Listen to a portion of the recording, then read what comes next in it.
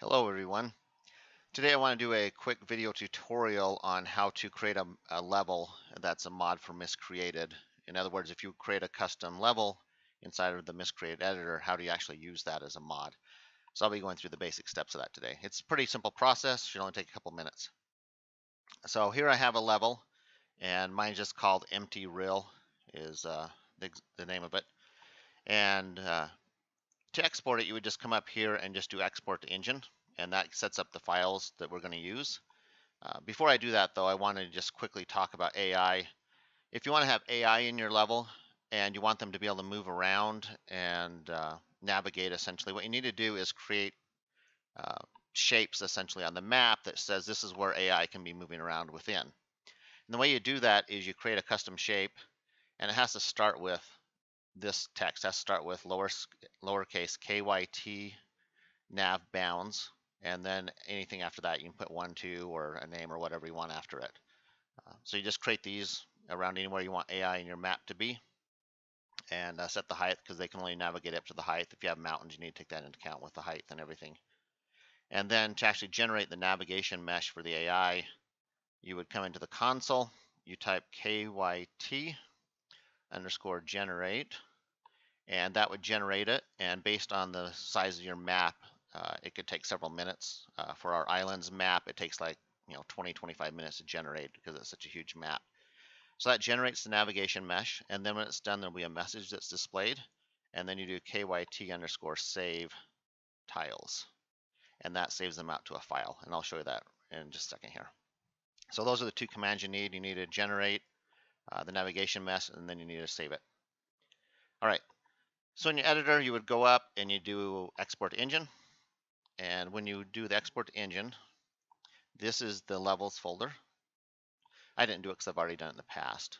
Uh, and what that does is it creates two files. It creates the level pack file and the terrain texture pack file. So those are the two pack files we'll need. And then this is the navigation mesh for your AI. Uh, so if you generate it and save to tiles, this file will exist and it will be updated as well. All right, so to use the level, this is my mod. And if you view, uh, if you haven't, if you're not familiar with the Lunchbox mod, I'd recommend you go watch the Lunchbox video tutorial. Uh, but essentially, uh, it's all set up the same way. So I'm gonna go into my source folder, Game SDK, levels. So any level has to be in a level subfolder.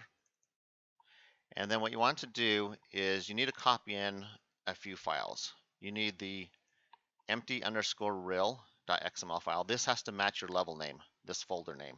So if yours is called woodlands, uh, your level name is woodlands, and then this has to be called woodlands.xml to match. You need the file list.xml file and the navigation mesh if you have one. So I'm going to copy those in. And then what you want to do is open up the your XML file. And inside of it, uh, a lot of this isn't used. A lot of this is kind of left over from the Crytek days, you know, the original SDK days. The critical thing in here is you want to make sure that the game rules is set to miscreated. Uh, this allows you to do custom game rules based on your level, but right now the only game rule that works is one that's called miscreated. Uh, so make sure that has to say miscreated in here. So I'm gonna go ahead and save that now. If not, the, the level, it may look like it's loading in the server, but it's gonna hang and not work right. All right. And then what you also wanna do is the terrain texture.pack, you wanna open this in something like 7-zip.